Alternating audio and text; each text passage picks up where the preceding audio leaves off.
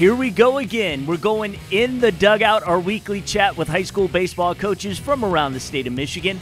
In the Dugout is brought to you by the Michigan High School Baseball Coaches Association. We've had the opportunity to have some great conversations this season.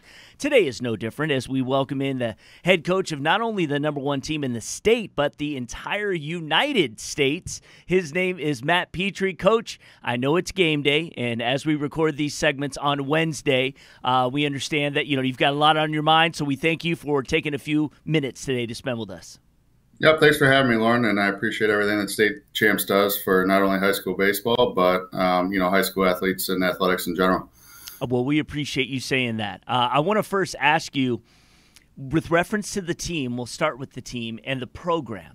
Um, and I think the big question that maybe a lot of people may ask because it, it almost seems like it's, it's crept up on us so fast, but how did we get here, you know, to where Orchard Lake is in the position it is today? I mean, the win streak now is, is at 60. Uh, somewhere in there. Some, I somewhere, I, I, I know you're. That, yeah, I, I, know, I know, uh, but it's very impressive. Um, and so, I guess I want to ask, what has happened uh, maybe you can just talk a little bit because I know this is a process. This is obviously something that has taken years uh, to build. Um, but the the you know what are some of your thoughts? Uh, and obviously a lot of good luck has to go with this too, and, and some things just you know stars aligning. But um, some of the things that you felt the Eaglets have been uh, you know, to to be in a position where there's so much tremendous talent, success follows with that. It has to start when many of these players were young. So when did it begin, and, and how did it happen? Um, so you know, the thing that I think is most important in our program is you know obviously getting talented players, but um, you know once you're you know you get those talented players is getting them together, working year round as a team, putting in that extra effort. And that's something that, you know, maybe the last five or six years that, um, you know, we've had is not only good players, but because there are so many good players, they have to work hard year round at their craft or, you know, they're not going to see the results on the field as much as they want. And we go, um, you know, we start as soon as school starts, right after um, Labor Day weekend. We're we're working out three days a week. Um, we go to 2SP. Um, they do a phenomenal job with our guys. Um, you know, not only from a strength um, point of view, but from uh, you know mobility, um, speed, um, things like that. And then we kind of get rolling into our hitting four mans beginning in November. And so it's it's always something. Well, you know, we encourage guys to play multiple sports if there's if they're not playing a sport in a particular season. We always have something available to them um, you know, throughout the off season. And it's, you know, the older guys taking the younger guys under their wing and getting them, um, you know, ready for when it's their time to, to contribute and compete. Yeah. I mean, I think you've built a great culture there. That's, that's a, uh, a great example of, um, you know, just seeing those guys really, you know, every tier uh, as leaders get older and, and you can see them taking the, the young players under the wing. I love how you incorporate, you know, as much of, of some of the young talent to get their opportunities in the big moments when they can. Um, now, before we get back to the team, I do want to talk about you and your family a little bit. Um, you know, a lot of the players nowadays, heck, they don't remember the 1984 Tigers. Uh, but you know, you know, your father, Dan Petry's a former Tiger, of course, played a huge role on that staff in the World Championship. Uh, he was a key figure in the '87 AL East title run. Uh, 11 seasons in all, he played with the Tigers. Very beloved here uh, by those who remember the Tigers in the 80s. You were born during those years, so yeah. many people many people don't know perhaps that your brother Jeff Petry is a defenseman for the Montreal Canadiens. Um, which is outstanding. You were a pitcher at Brother Rice, the uh, 2003 team, even though you guys fell short in the title game, uh, was one of the best ever at, at Brother Rice. I think a lot of people believe that who you know follow the Brother Rice baseball program. Um, 36 and four, you guys. You had guys like Doug Pickens, Dan Lentz, yourself. Uh, state champs is 20 years old actually this fall, so it falls right in line to when you were uh, at uh, at Brother Rice, and we you know of course cover the Warriors extensively that season. You went to Michigan. Um, did you have dreams and and opportunities to hopefully play beyond your days at Michigan? I certainly had dreams, um, opportunities. No, you know, you know, I didn't, you know, develop the way that I, I had hoped. I ran into some injury trouble at Michigan, but um, you know, getting into coaching has been the biggest blessing that's come out of me, you know, playing at Michigan for the three years that I did. Right. Um, so let's get into your coaching journey. You know, what made you want to do it? What and who were some of the people that were instrumental in helping you? Um, you know, not only when you were starting out, but as you've continued coaching through today. Yeah, it's kind of a funny story how I got um, started out. You know, after college, I was still living in Ann Arbor. Um, one of the guys that I played with um, at Michigan, Mike Schmidt, um, took the JV head coach job at Dexter High School, and he was looking for somebody to help out um, with the pitchers during the off season. Um, so I, you know, agreed to help out in the off season. Then about a week before the season started, the varsity coach stepped down and um, my buddy Mike had to, you know, go help out with the varsity, so they were without a JV coach. Something that I had never bargained for, had aspirations to do anything like that. They just kind of said, "Hey, you know, these guys don't have a coach. We'd rather not have a parent do it. Um, is it something you'd be interested in?" And you know, I've been working with the guys all off season, so I didn't want to kind of leave them high and dry. So I stepped in um, and coached a, a, year of JV baseball at uh, at Dexter, and then um, as fate would have it, um, you know, my mentor Bob Riker from Brother Rice called me. They had a, a, JV opening at the time. He gave me a call and said, "Hey, you know, if you want to coach JV, we'd love to have you here." And you know, I immediately accepted that, um, and was all set to go to Brother Rice and you know be on Bob's staff, coach his JV team. And then um, there was an opening at St. Mary's, um, and you know, my brother went to St. Mary's. Um, so we had some connections here. My dad coached at, at St. Mary's, um, was an assistant. Um, so they asked me to interview, and I think I was 24 years old at the time. And I called um, Riker and just kind of asked, you know, his advice on it. And he's like, you should absolutely interview for it. You know, jobs in the Catholic League Central don't come available too often. Um, so, you know, I went, I interviewed. I thought the interview went well, but I was actually the second choice. Um, and then, you know, they called me to let me know that, hey, you had a good interview. We're just going to go with the other guy. So I, in the meantime, called Bob and said, hey, I didn't get the job. Um, you know, I'd like to still coach JV or Brother Rice if, you know, if that's still available. He said, yeah, absolutely. Well, then about an hour later, St. Mary's calls me back and said their first choice did not accept the position. So they were re-offering it to me. So then I had to go back to Riker and I just go, hey, I have no idea what to do at this point. Like, what do you think? And he go, he goes, hey, you know, the the Catholic Central jobs don't open it. I think you'd be crazy not to take it. So it was, you know, with his guidance and the guidance of my dad that, you know, I ended up at St. Mary's, and you know, 12 years later, here we are. Yeah, absolutely, and I'm sure uh, Coach Riker and probably Coach Kalzinski were like, "Well, this job's not opening up, so I can tell you that you've got to uh, yeah. find something something else." Uh, but um, your you know, getting back to the the Eaglets now, you you end last season as as national champions, and um, you know you're named the 2021 National High School Baseball Coach of the Year. Like, what an incredible honor that is! How did you hear uh, about the team? You know, all of a sudden, you know, being named number one, and and you as the country's top coach.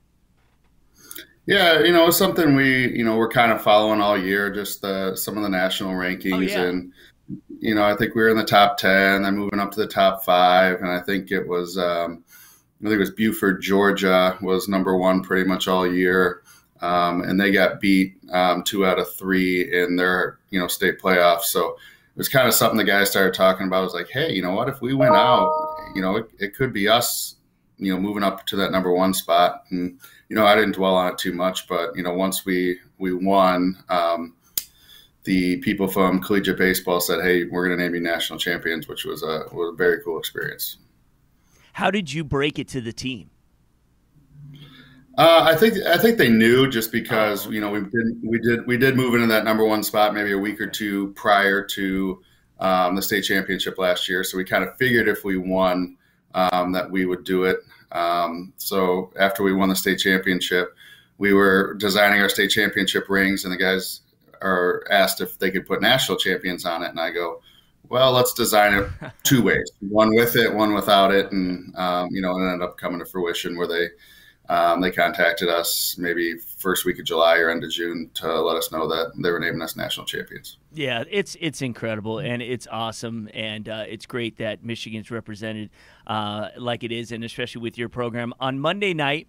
Um, you know, we got to see each other. Brock Porter was named the DAC Foundation's Male Athlete of the Year. Just another accolade on top of everything he's accomplished. And I don't know if people truly realize what a special talent uh, he is. Um, you know, DJ LeMahieu came a few years after you at Brother Rice. I think there was a feeling even in high school that there was, you know, the sky was the limit for him uh, back then. Um, I mean, he might be a Hall of Famer before his career is said and done. Who knows? But in, it's been incredible regardless. Uh, in terms of potential, because, you know, Brock not only is such an outstanding performer, you know, humble, focused. It seems like his head is always in the right place. Just a wonderful family. He's got a great support system. Um, are the stars really just aligning for this kid? Yeah, I mean, obviously, there's a, a, long way to go to have a career like DJ LeMahieu had right. or is having. Um, you know, but he certainly has all the tools, and like you said, it's it's not just his on-field talent; it's all the uh, the um, the extra things, the the stuff that you know college programs and professional organizations are looking for. He's very self motivated. He's disciplined. Um, he's got a good, like you said, support system with his his family, his parents and grandparents, and things like that. So, you know, are the stars aligning? I don't know, but he certainly has, you know, all the resources and um, the background to to have a successful career. Yeah, I mean, just in terms of, of pitching prospects that you've seen at the high school level, he's got to be right up there uh, with one or two that you, that you had an opportunity to not just coach, but just you know either compete against or watch. Yeah, you know, two guys that that come to mind that had great you know college careers. Um, I believe one of them um, is still playing, maybe both of them, but um, Karl Kauffmann and mm. Matt Ruppenthal from Brother Rice. Um, those were guys that were um, when I was first coming up as a coach. Those were guys like, holy crap, we got to face these guys. These guys are these guys are ridiculous. And then yeah. you know uh, Matt doing what he did at Vanderbilt, and then mm. um, Karl at Michigan, and being a part of that um, national runner-up team. Um, you know, those are the that were the best you know prospects that I've seen. Um, you know, in high school baseball since I've been a coach, anyways. Yeah, it's super exciting, and it doesn't come along, you know, often. So I suggest people, you know, again, we've got some more of the tournament here. Go ahead and watch uh, Brock pitch, and it's fun just to, to speculate. And uh, we're proud of these guys, and and watch the feature I did on Brock for the awards. You can hear all of his stats and all that stuff. But you've got almost a dozen D1 college players on this roster. Uh, Brock going to Clemson, Ike Irish to Auburn, uh, Blake Grimmer to Tennessee, Notre Dame is getting Ryan Mooney, uh, Jack Crichton, Jason Oliver, Nolan Schubert, all going to Michigan. Uh, Jake Dresselhout and Ryan McKay to Michigan State, and um, you know I always pronounce his name. Is it Siren Coffee? Is that it? Kieran. Kieran, Kieran, sorry, going yeah. to Kent State. Um, so I go back to it again, uh, and and you kind of explained, you know, these guys put in the work, and this is something mm-hmm. that takes, you know, all season, all year. Um, but they've built such an incredible chemistry, and when you have a collection of talent, that always doesn't happen. Yeah, and I think you know that goes to you know kind of the model that we have in our program is we want the guys around each other as much as possible for as long as possible. You start, you know, you can't show up on the second Monday in March for tryouts and expect chemistry to just come out of nowhere. Um, you know, you need to get after it in the off season, and that's what all of our guys do. They're all in there together. It's you know three days a week um, to start, and then we even get into you know five six days a week when we start hitting and throwing bullpens later in the winter. Uh, but that's really, you know, the separator to me is, you know, getting those guys together. And um, obviously, they're all, you know, very talented, but, you know, there's different levels of talent. And, you know, with them being together, they push each other. And, you know, there's guys that were certainly, um, you know, very highly thought of when they came in as freshmen. And then there's other guys, um, you know, like Kieran Cahy, for example, right. is he's worked extremely hard, and you know he's about 5'10", 160 pounds, and he's having yeah. just an incredible, incredible career, and um, going to Kent State. So you know, for every you know quote unquote blue chip guy that we have, there's guys like Kieran and Ryan McKay who work very, very, very, very hard to to get where they're at, and you know those guys deserve a lot of credit as well. Absolutely. Uh, just a couple more for you. We're talking with Matt Petry of Orchard Lake St. Mary's. I was reading the Tony Garcia article in the Free Press, and they were saying it's candy in the dugout. It's all a sugar high. yeah, so that was um, so we have a, a new assistant coach um, on staff this year, Aaron Wilson, um, and he, you know, he likes to keep things loose in the dugout, and he, you know, right before the season started, he goes, "Hey, what do you think about snacks in the dugout?" And I, you know, I thought about it at first. I'm like, I don't know, it might be a distraction, but I'm like, hey, we'll give it a whirl if it, you know, if it helps the guys play loose. So we got Skittles in there, gummy bears, um, you know, all that kind of stuff. Yeah. You know, with the with the healthy stuff, the protein bars and stuff like that. But yeah, they, you know, they enjoy it a little bit. Yeah, no, they're having a lot of fun, and that's the most important thing. Uh, Division two champions 2015, 2019, 2021. You guys are competing in Division one this year. We talked a little bit about this when I saw you on Monday. You know, regional semifinal against, I, I think they're a 26 win Lakeland team. They've got a lot of wins. Um, this would be the program's first Division One state title. Should you be able to to uh, run it from here on out? Talk about the unique challenge uh, this final stretch will be. Uh, obviously, it could be another matchup with your alma mater coming up, but uh, Division One, you know, the, they're all good teams, especially from here on out. Yeah, and that's something you know when you you look at the difference between Division One and Division Two is Division Two's best teams are certainly right up there with uh, Division One, but there's a lot more depth in um, Division One that we've noticed, and um, you know what we're seeing is starting from you know the district um, final on Saturday with West Bloomfield.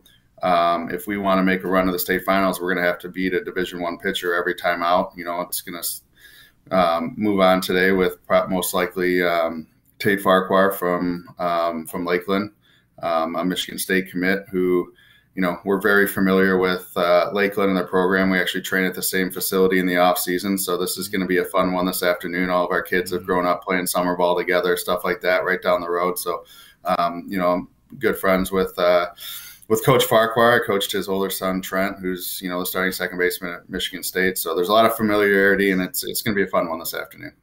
All right, well, Coach, uh, thank you so much for joining us in the Dugout. Good, good, good luck in the playoffs.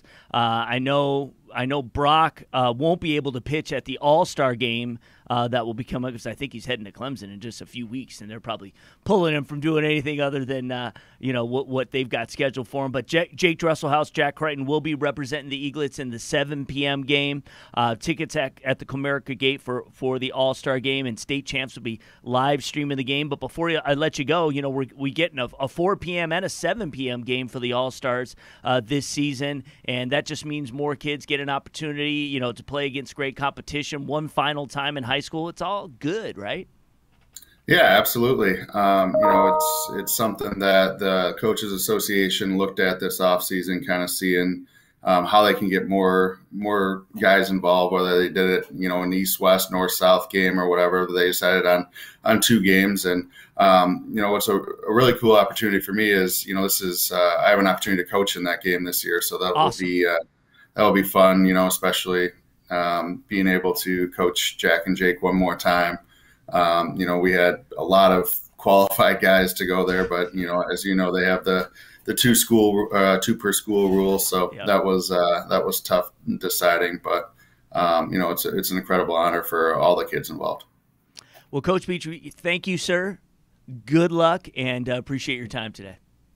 Thanks, Lauren. Thanks for having me on. Okay.